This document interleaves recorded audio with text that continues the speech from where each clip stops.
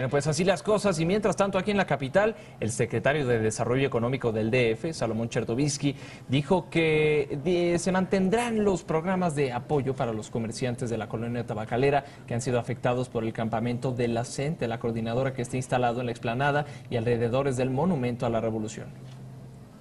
Veremos con mucha atención los próximos días cuál es el rumbo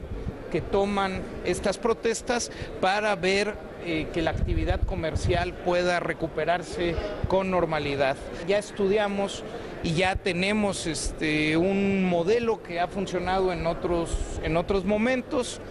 que viene desde líneas de, de, crédito emergente que ya se han dado, ya los han aprovechado algunos comerciantes, seguro de desempleo para quienes laboran